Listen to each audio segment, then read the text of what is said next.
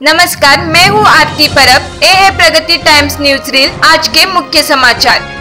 BHU के छात्रों ने प्रदर्शन कर चीफ प्रॉक्टर को बर्खास्त कर गिरफ्तारी की मांग की।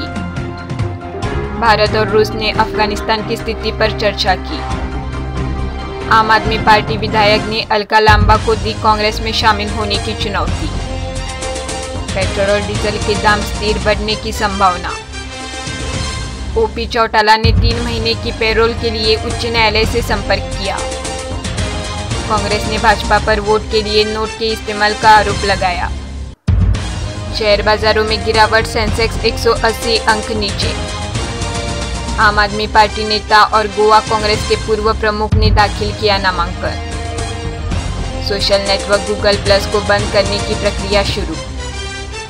सोनिया गांधी कांग्रेस घोषणा पत्र के कवर पेज से नाखुश।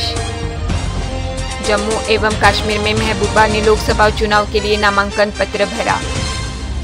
वेब सीरीज़ के ज़रिए स्टाइल सीक्रेट साझा करेगी सोनम कपूर।